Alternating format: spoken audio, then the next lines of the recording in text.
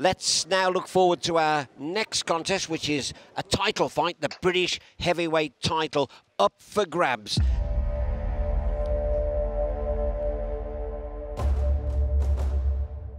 I think this fight could actually um, steal the show. You know I mean? I think we're going to put on a great performance.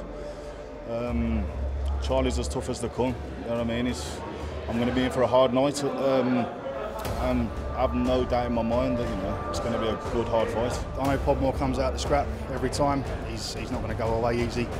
Um, neither am I, to be honest. I think we'll meet in the middle and we'll go from there. It's going to be a cracking fight.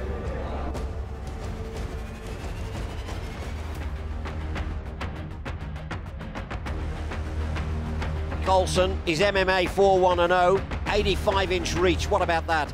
Dan Podmore, the champ. He's beat Rob Cunningham. He beat Josh Burns. No contest against Paul Taylor and lost to Mickey Parker. This is going to be one hell of a fight.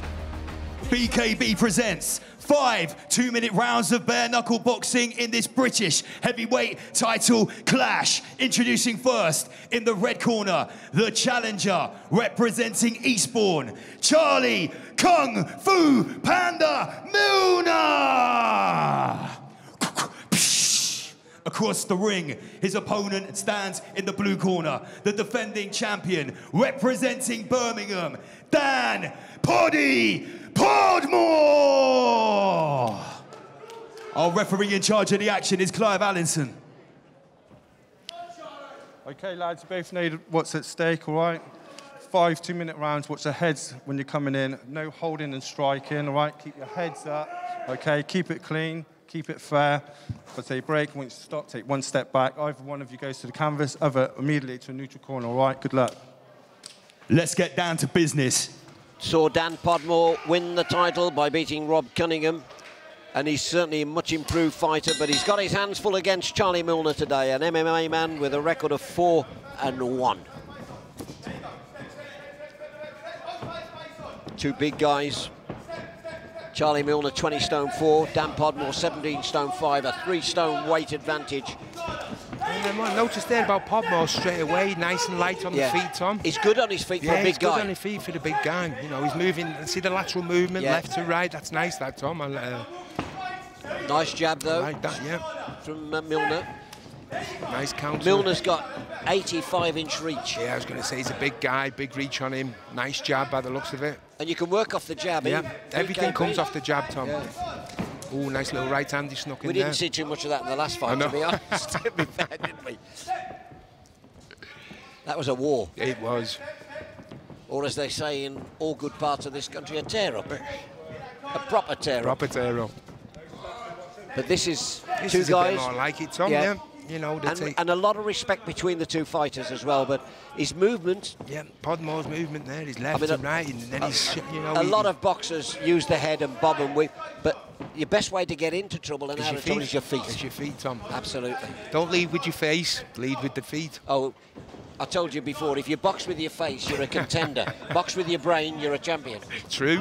Oh, good shot from Podmore there. Tried the right hand over the top.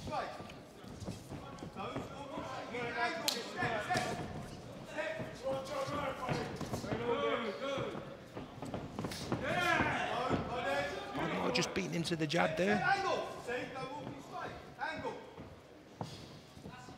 Five rounds as well for two big guys to get around the ring. Yeah, and you know, they, I like, you know, I like what I'm seeing so far. Tom. Yeah. They're nice and controlled. They're picking the punches. They're not going wild.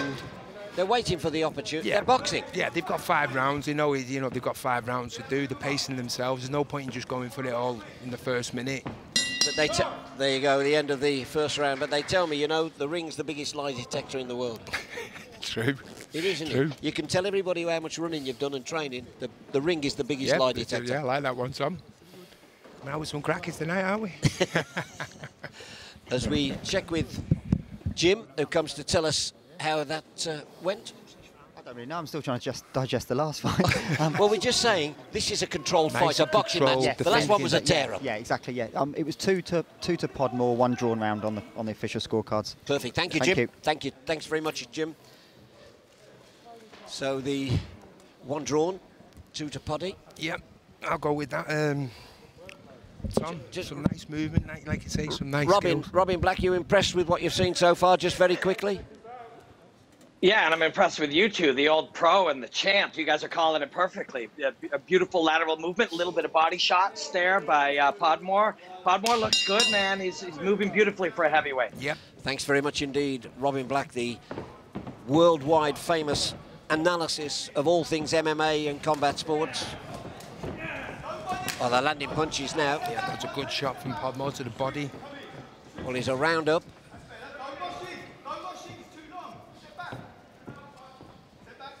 And the thinking, Tom, I like it. You know, the thinking. Thinking about the next shot, they're looking for the openings, Well, not going wild. They're better defensively, Yeah. but when you have to be, because when these guys hit you, you stay hit. And that's it. You, you, you're caught or you go down or you, there's some effect from a punch.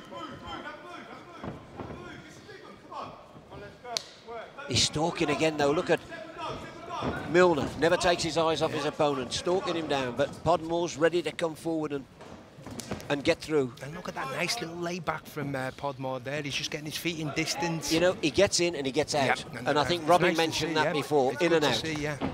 Oh, You he's know, come back with a great shot. Come back with a nice counter, left hook over the top, just fell short. I think he may have marked Milner. And there's another good left hook from uh, from Podmore. Bit out of range again. He swinged in a little bit there. Just needs to move his feet in a little bit more. Nice jab. And again. And I'll watch if he switches that to the top now uh, to Tom. Jab to the body, switch the, to the left hook to the top, over the top. He's boxing well, He Podmore, is. to be fair. I'm very impressed, to be fair. Uh, you know, he's taking his time. He's picking his punches. You know, some nice feints as well, Tom. We don't see a lot of that yeah, sometimes. not not in BKB, we don't. No. But as the as the levels have moved up, the boxing skills have Yeah, moved up. you, you can see it, Tom, can't you? Yeah. Well, you heard earlier they've they've signed a former IBF world champion. Yeah, I'm looking forward to that one, Tom.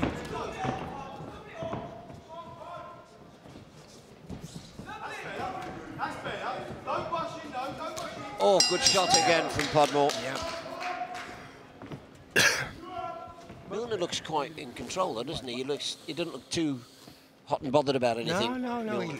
He, he knows he's got five rounds. You know, I'm not, he's you've not got time to be giving rounds away, but you know, he knows he, he didn't get the better of that round. He just took his time, no. Jim will know as well. I'm all free for Podmore. He, he's boxing so well, isn't he? Yeah, he's- And we're not just getting in; he's getting out. His his corner's yeah, giving him some good We just advice. talked about yeah, the feinting. Yeah, definitely. Yeah, I think, I think he, I think he looks really good settled. This is this is nice after all the um, storm of the last fight. yeah. Just to see a boxing fight. A proper boxing match, absolutely. Robin, just quickly from you, uh, proper boxing. But they're fighting, aren't they? They're, Podmore's boxing well. Yeah, he certainly is, man. He called himself a journeyman a year ago. Now he comes, he wins the British heavyweight title, and you see him continue to evolve. He's turning into a beautiful heavyweight boxer. Uh, and there's still three rounds to go. It can go either way, but he looks phenomenal through four minutes. Well spotted, of course. The one thing about BKB, can it, you can be four rounds ahead and lose the fight. That's Yeah. that's the way it works That's in how it can pan BKB. out, yeah. Because one shot can end it, one jab, and again that left. Sort, sort of like it's not really a hook, is it? it, it it's sort of like a le- almost leading. Yeah, like a lead long Yeah. hook jab. There you go, there we go again. It's surprising uh, Podmore.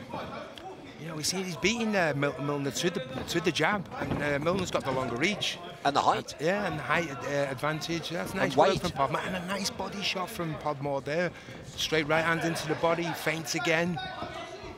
Nice control. We must never underestimate the the importance of movement, No. whether it's BKB or yeah, gloved. and the movement. yeah, he's showing it all here, Tom, isn't it? What good movement can do, especially up against when you're up against an opponent who's taller. He's got the range on you. Big overhand right. And and again, beautiful. Another overhand from Podmore, who's With waiting for that shot. Turn that left jab into a left hook nicely. And he's then he bobbing and he's yeah. weaving and then he's sweeping. Oh, there's a good shot. The right hand went in there, shot. Tom. Lovely Right hand, shot. yep. And he's taking the count. I think we saw that then. He teed it up and he followed through. And, and what I like, Tom, he's not going wild with his punches. He's picking his punches. They're controlled. Simon Aycock in his corner giving me instructions there. Oh, he's getting up though, Milner. Clever enough to wait and take the count. You might as well take the count. Yeah. Just get up. Yeah, he's a seasoned pro. He, uh, you know, he looks he looks okay. Really impressed with Dan Podmore. Yeah. And changed it there.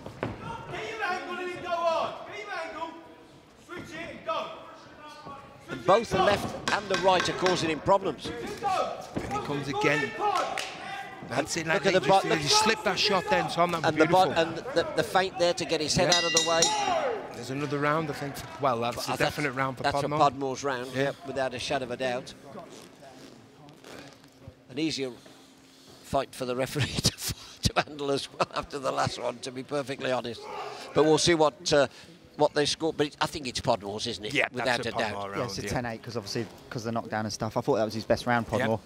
Credit to Simon Aycock because Podmore's a better boxer. He classed himself a journeyman a, a year or so ago. Now he's a boxer. Yeah, well, you can see just he's just improving all the time. Like I say, beating Josh Burns on like a day's notice is just giving real belief, and he's just improving all the time. So it's, it's, it's really good to see. Yeah. Excellent, Jim. Thanks very much indeed. Thank you, Jim. Cheers, Jim. That's Jim Freeman, one of the owners of BKB and also matchmaker and promoter, along with Joe Brown. And it's good, Tom, to see that we've all hit on the same thing. His skills are coming into. Uh, He's boxing. yeah, he's boxing. He's boxing good. Yeah, the footwork,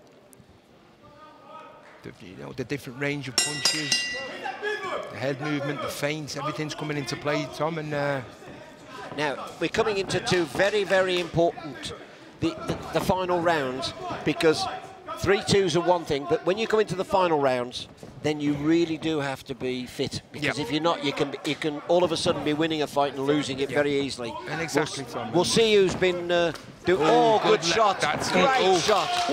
Great shot yeah, from that was good, Podmore. yeah. Great, Great shot from over the top. He Great shot left from- hook He's giving us the thumbs Yeah. up there, buddy. Give us the thumbs up. I don't think he's getting up from that, Tom. That nose That's a great shot. bad. But that was No, a great shot. from that, He's trying to get He's up. trying, but you know, But what play. a great! sh- He's trying. Look, he can't. He's struggling. The referee has to let him have the count, though. No, the referee says enough's enough.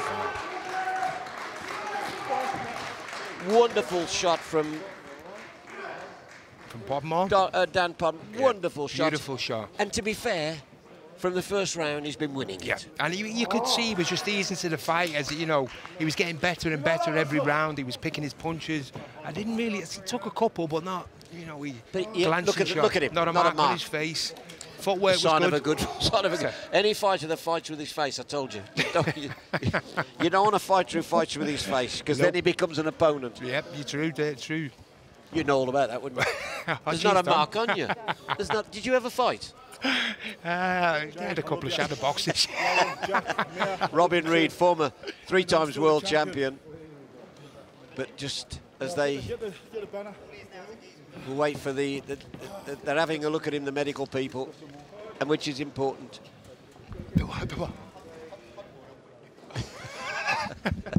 There's Jim getting in the ring. Here we go. Let's cross to our ring announcer, uh, Lance Murdoch. Wow. Our referee Clive Allenson stopped the action after one minute and seven seconds of round four. The winner by way of TKO and the still reigning champion, Dan Podmore!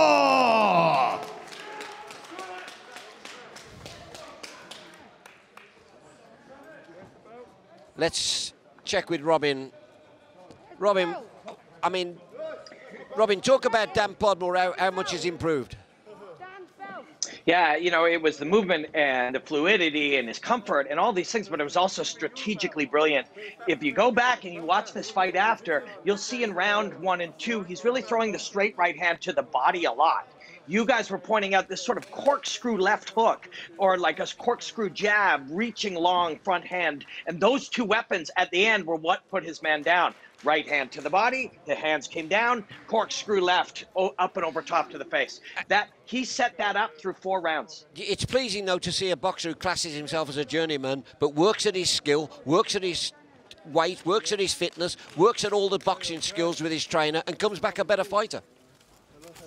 Yeah, and he he was a journeyman, then he was a winner, and then he was a British champion, and now he's a top flight boxer. So he's continually raising his own level, breaking through plateaus, and he's still getting better. That's the performance of his life. Let's find out what he's got to say, though, Robin. Thanks for that. Let's find out what he's got to say. He's talking to Robin Reid. So great result, great win, great knockout, Great all-round performance. Talk us through it, Dan. Oh, wow. We're going? Oh, yeah, but um, struggled a bit with the range first round. Uh, it caught me, marked me, cut me, turned me on a bit, um, you know, switched me on. Simon says I need to. Um, But we've seen a lot of skills involved. I mean, both me and Tom commentating the Yeah. footwork, the head movements, Yeah. the slipping, the picking of the punches. It all seemed to fall into place and eventually the stoppage came. yeah, I knew, I knew if I landed flush, he'd be going out. Um, like I said, it was just a matter of getting past that reach. You know, it's an 85 inch reach. Um, it's tough, tough guy. He see his, he hits, hard as well. So, but But fitness was good. it's, yeah, it's it's gonna take something special to get me out of there. Yeah, not many marks on the face there, No, looking good. no. So what's next for Dan Podmore? Um, well, I suppose that's up to Jim and Joe. Um, if they want me to defend again, I'll defend. But I've got my eyes on that prize. I was going to say we're starting I to want, look I want that world title. the world title. I want, I want some Americans. I want, I want that Fabio Maldonado. I want anyone. Come and have a go if you think you can fucking take it. The heavyweight scene at the, in BKB at the moment, you know, it is pretty, you know, it's fired up at the moment. Yeah, so yeah. anybody else you'd like to take on in a defence or Um, don't be shy. to be fair, it's, it's, I'm not, I'm not quite honest to be honest. Um, like I said, anyone. I fight any man. Jim and Joe know that I fight any man, anytime, anywhere. So soon they have to, they'll have to give me a name and they'll know I fight. So let's get Jim over now. Let's talk about, um, you know, what we Sorry, got, missed we've got next for uh, Dan Well done, mate. Podmore. Um, well, he's got to be looking at world level, isn't he? I thought Yeah. that was the best I've seen in box. I, th- I thought he was really, really good, sharp, um, good feints. We were saying it on the commentary, weren't Yeah. we? So it's best. So yeah, we've got to look at getting someone over, um, keep him active, get him out in June, July. Um, Podmore's improving, isn't he, all the time? Fantastic. It's great to see. So I've did two camps back to back. I just want to dedicate this to my lovely fiance. I'm going to go home and I'm going to make a baby. That's what I'm going to do. I'm coming. Good luck with that. yeah, good luck. Well on that note, congratulations and well done. Thank you, mate. Great win, great performance. Good man.